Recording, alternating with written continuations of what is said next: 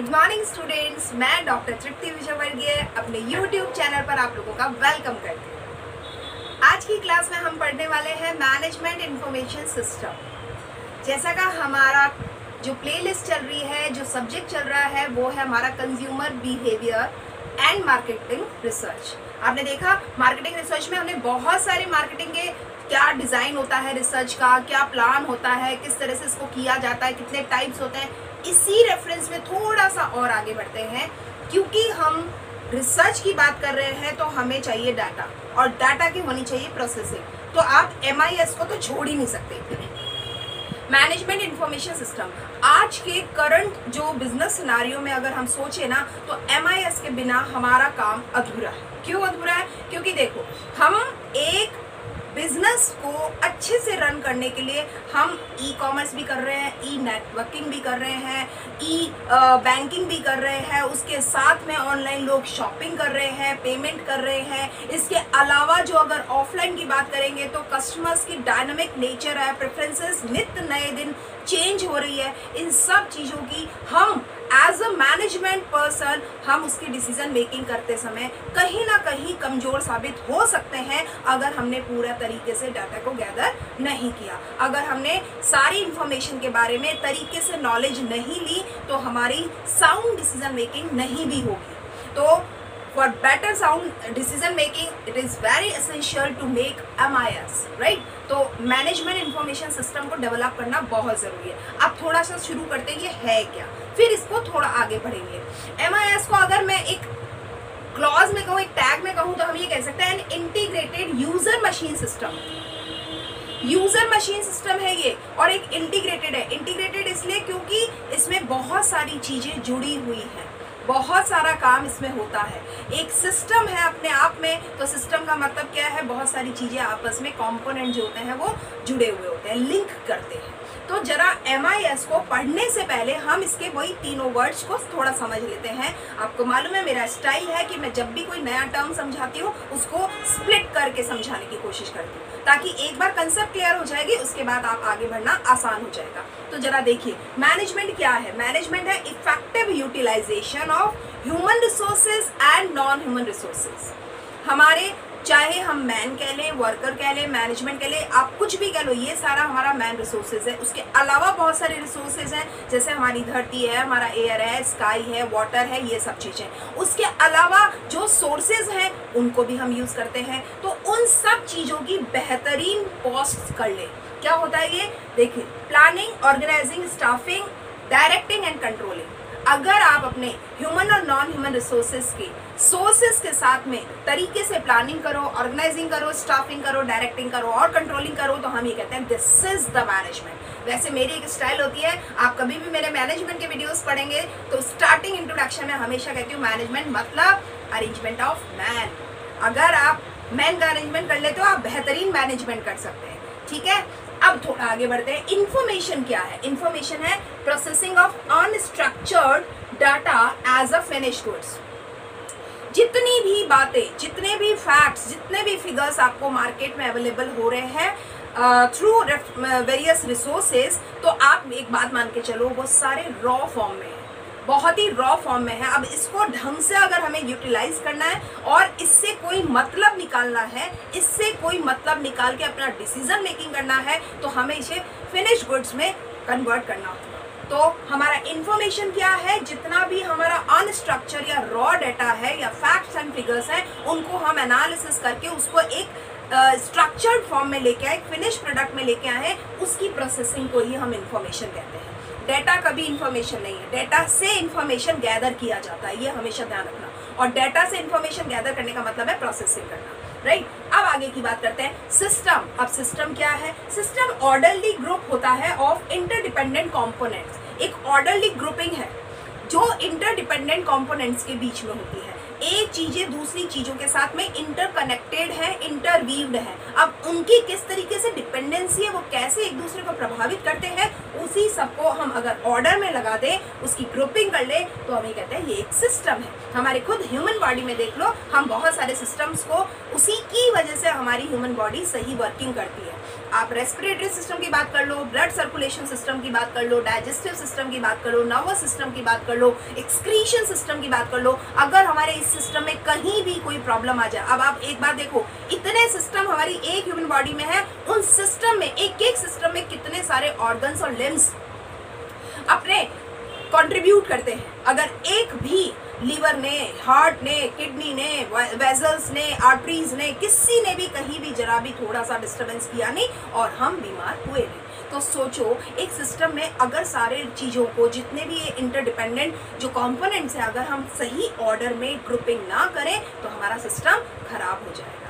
तो ये है सिस्टम अब बात हुई कि मैनेजमेंट इन्फो सिस्टम का मतलब हो गया यहाँ पे यूटिलाइजेशन है यहाँ पे प्रोसेसिंग है और यहाँ पे ग्रुपिंग है. तो अगर हम ये कहें कि आ, हमने बहुत सारी चीज़ों को यूटिलाइज करने के लिए उनको प्रोसेस किया और उन्हें एक बेहतरीन ग्रुपिंग कर दिया जिसका एक कोई ऑब्जेक्ट है that is M I S management information system यही है मैनेजमेंट इंफॉर्मेशन सिस्टम अब जरा बात करते हैं। मैनेजमेंट इंफॉर्मेशन इंफॉर्मेशन सिस्टम को हम एक प्रोसेस कह सकते हैं, जिसमें हम इंफॉर्मेशन जो है, जितनी भी हमारे ऑर्गेनाइजेशन को इफेक्टिवली मैनेज करने के लिए ज़रूरत पड़ती है, उसको हम यूज़ करते हैं और क्लियरली डिफाइन ये कह सकते हैं, एक तरीके से एक फ्रेमवर्क होता है, जिसमें गाइडलाइंस होती हैं पॉलिसीज़ होती है प्रैक्टिस होती हैं स्टैंडर्ड्स होते हैं प्रोसीजर्स होते हैं, उस ऑर्गेनाइजेशन के जहाँ पर के हम काम कर रहे हैं। और इसको हम ये कह सकते हैं, अपने डेवलपमेंट के लिए ऑर्गेनाइजेशन के डेवलपमेंट के लिए बहुत ज़्यादा ज़रूरी है कि अपना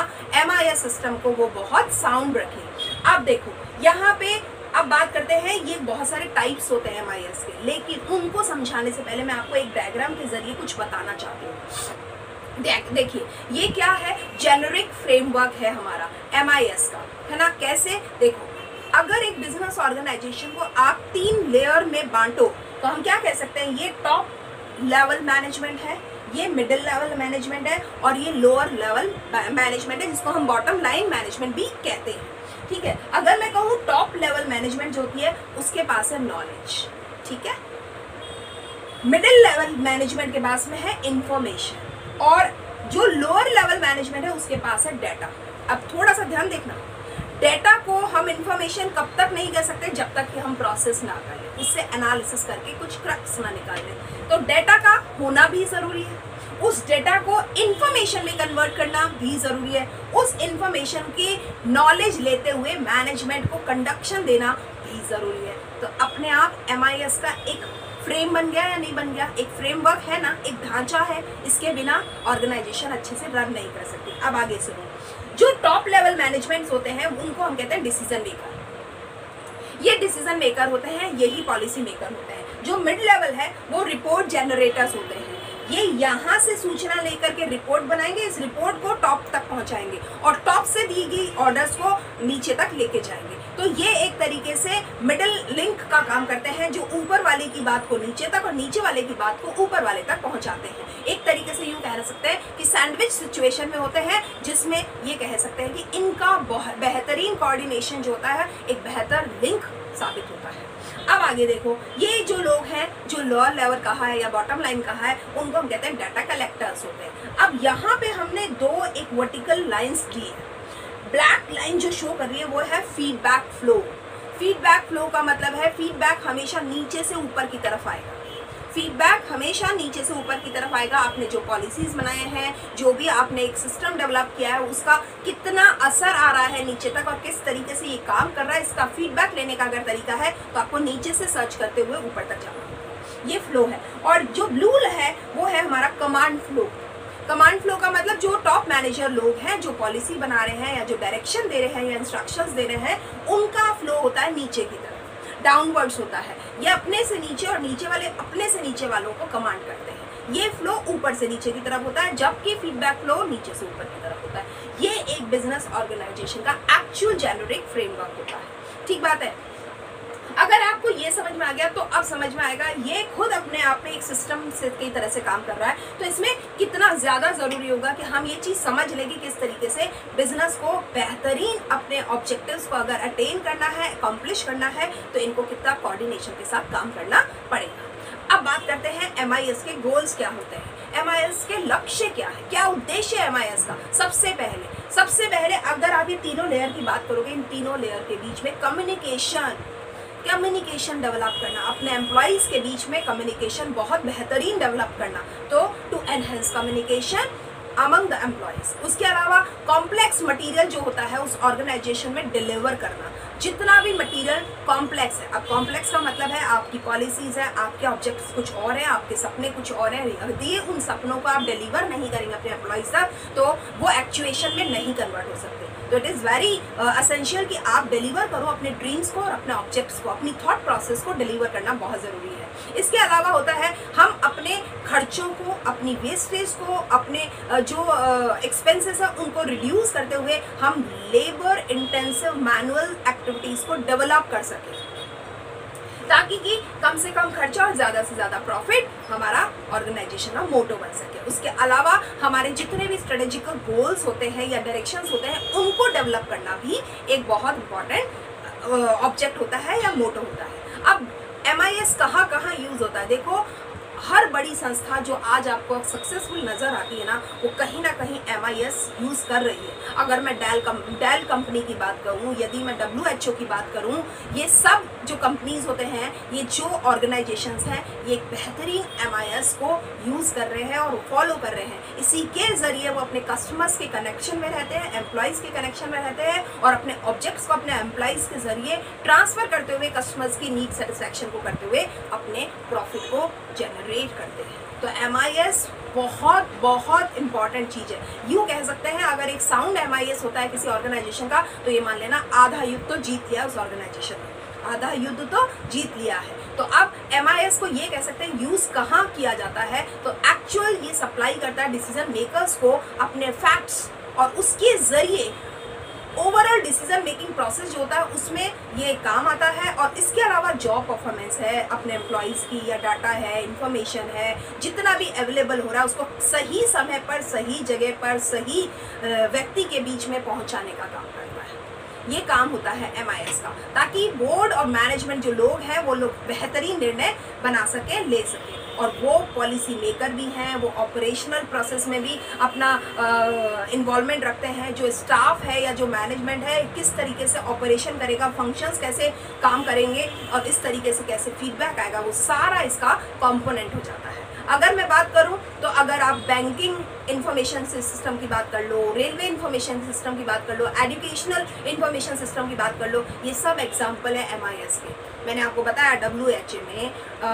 डेल में, अगर रेलवे में, बैंक में, इन सब जगह, इवन आज एजुकेशन में, किस तरीके से हमारा पूरा एक नेटवर्किंग साउंड होता है और किस तरह से हम फीडबैक लेते हैं, इस तरीके से हम अपनी पॉलिसीज़ डेवलप करते हैं, सब एमआईएस के ज़रिए ही होता है। ठीक है? अब बात करते हैं एमआईएस में क्या चीज़ें ज़रूरी हैं फंडामेंटल्स क्या हैं? फंडामेंटल्स में बहुत सारी चीज़ें हैं, हमको डाटा को कलेक्ट करना होता है इन्फॉर्मेशन का ट्रांसमिशन करना होता है, जिसको हमने प्रोसीजर प्रोसीजर कहा है। फिर उससे हमें फ़ायदे होते हैं। हमें बहुत सारी चीज़ों के बारे में एक क्रक्स फॉर्म में मिल जाता है है ना? अब जरा बात करते हैं क्लासिफिकेशन करते हैं, यानी टाइप्स करते हैं, कितने तरीके के एमआईएस होते हैं। ई एस एस बहुत सारे, आपको मैंने एब्रीवेशन फॉर्म में लिखा है। E S S B S S के M S T P S O A S C R N है ना? तो क्या क्या चीज़ क्या है वो जरा जरा बात कर लेते हैं। तो देखो ई एस एस क्या है ई एस एस वो ये कहता है अगर आप एग्जीक्यूटिव जो सिस्टम होता है एग, ए, जो एग्जीक्यूटिव सिस्टम होता है वो ये बताता है किस तरीके से सपोर्ट सिस्टम डेवलप करना है। ईएसएस का मतलब है एग्जीक्यूटिव सपोर्ट सिस्टम जितने भी टॉप मैनेजमेंट के लोग होते हैं वो अपनी पॉलिसी मेकिंग में ईएसएस को यूज़ करते हैं यानी जो एग्जीक्यूटर्स हैं वो अपने काम को एग्जीक्यूट करने में जिस सपोर्ट सिस्टम को यूज़ करेंगे। ठीक बात है। अब डीएसएस इसके अलावा भी जो ईएसएस एस होता है, उसमें मैं आपको एक और चीज़ बता दूँ। इनिशियली क्या होता है, अगर आप कहोगे एम आई एस और D S S M I S और डी एस एस इन दोनों का एक्चुअल यूज़ किया जाता है ई एस एस के द्वारा। एग्जीक्यूटर्स के द्वारा। अब एमआईएस क्या है? मैनेजमेंट इंफॉर्मेशन सिस्टम और डीएसएस क्या है? जो हमारा डिसीज़न सपोर्ट सिस्टम है, उसमें आता है काम। तो हम डिसीज़न क्या लेंगे और हमारा मैनेजमेंट क्या कहता है? वही ईएसएस अप्लाई करता है। एग्जीक्यूटिव अप्लाई करते हैं। ठीक है? अब डिसीज़न सपोर्ट सिस्टम डीएसएस है। उसमें क्या होता है? हम ये देखते हैं क्या एनालिसिस हो रहा है? गोल क्या है हमारे? रिस्क एनालिसिस किया जाता है। जो हमें इंफॉर्मेशन मिल रही है डेटा के ज़रिए, उसमें एनालिसिस करके हमने क्या पाया? रिस्क कितना है? गोल हमारे क्या है? इन सब के साथ में एक कोऑर्डिनेशन डेवलप किया जाता है, ताकि एक सिचुएशन के ज़रिए हम अपने ऑब्जेक्ट्स को गेन कर सकें। अब आ जाते हैं हम के जो के क्या है? जो नॉलेज प्रोसेसिंग सिस्टम है, वो होता है। तो इसमें क्या होएगा? हर एक व्यक्ति अपने एरिया का एक्सपर्ट है। वो ये बताएगा कि किस तरीके से काम किया जाता है। अब ये जो चीज़ होती है नॉलेज की, अब आप देखो, हर एक व्यक्ति का अपना एक तरीका होता है, वो काम करने का। काम करके वो के के ज़रिए वो ये बता सकता है कि किस तरीके से अपनी नॉलेज को हमने यूज़ करना है और आगे बढ़ना है। ठीक बात है? अब आगे बढ़ते हैं टीपीएस टीपीएस में क्या है? टोटल प्रोसेसिंग सिस्टम है। ओएस क्या है? जो ऑफ़िस ऑटोमेशन सिस्टम है सीआरएम क्या है? कस्टमर रिलेशन मैनेजमेंट है। इन सब के ज़रिए हम ये पता लगाते हैं, हम बेहतरीन से बेहतरीन पॉलिसीज़ कैसे बना सकते हैं और कैसे उसका फ़ायदा हमें मिल सकता है। तो ये सारी चीज़ आपको समझ में आई जो कि टाइप्स की थी। अब अगर टाइप समझ में आ जाता है तो अब हम सीधी सी बात करते हैं कि इसकी सिग्निफिकेंस क्या है। हम एमआईएस क्यों यूज़ कर रहे हैं? तो एमआईएस यूज़ करने का सबसे जो फ़ायदे की बात को अगर आप कहेंगे तो एमआईएस यूज़ करके हम अपनी कॉस्ट रिडक्शन ज़बरदस्त कर सकते हैं। कैसे कर सकते हैं कॉस्ट रिडक्शन क्योंकि देखो, एक आप बात समझो, कोई भी काम हम जब काम करते हैं, अगर उसको हमने सिस्टम से किया होगा तो हमारे को हमेशा उसमें कॉस्ट में रिडक्शन होएगा प्रॉफिट में हमेशा फ़ायदा होने वाला है। क्यों होने वाला है? क्योंकि इसके ज़रिए ही हम, हमारे पूरे सिस्टम में अपने जो डाटा गैदर किया है, उसको किस तरह से हमने प्रोसेसिंग किया, उसके हिसाब से हमने कैसे डिसीज़न मेकिंग किया है, और फिर हम अपने इम्प्लीमेंटेशन करते हैं तो फ़ायदा तो मिलना ही वाला है। कोऑर्डिनेशन का फ़ायदा मिलता है। मैनेजमेंट जो एम्प्लॉयज़ हैं, जो एचआर है, उससे हमें फ़ायदा मिलता है। उनको एक अच्छे से ट्रेनिंग दे करके हम बेहतरीन काम करवा सकते हैं। इस तरीके से एमआईएस के ज़रिए कोऑर्डिनेशन का कॉस्ट का प्रॉफिट का गुडविल का इंटीग्रेशन का बहुत सारे ऐसे फ़ायदे हैं, जो आज नहीं तो कल हमें अपनी ऑर्गेनाइजेशन की गुडविल जनरेशन में डायरेक्ट और इनडायरेक्ट वे में सपोर्ट करते हैं। ठीक है? आज की क्लास के लिए हम इतना ही करेंगे। आज अपने जो एम आई एस है या मैनेजमेंट इंफॉर्मेशन सिस्टम है, उसको समझा है इससे पहले मैंने आपको रिसर्च से रिलेटेड बहुत सारे टॉपिक्स पे वीडियो बनाए हैं। अगर आपने नहीं देखे हैं तो ज़रूर देखें। मेरे चैनल को सब्सक्राइब कीजिए और साथ में शेयर और लाइक करना बिल्कुल मत भूलिए। आप मुझे बताइए कि आपको मेरे वीडियोज़ में क्या चीज़ बहुत पसंद आई है। अगर आपका कोई सजेशन है तो always welcome thank you and keep watching my videos regularly thank you